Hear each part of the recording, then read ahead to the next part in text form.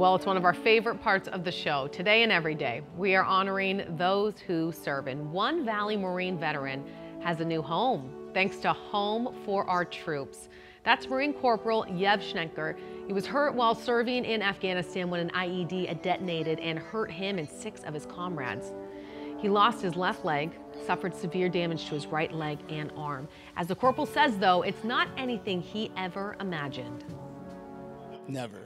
This is uh, this is more than I could ever ask for. This is just like you saw in the videos. You can't say thank you enough. This is I never expected any of this. Uh, his new home is going to have 40 different modifications, including a doorway for wheelchair access and kitchen amenities that he can reach. My goodness, thank you so much for your brave service.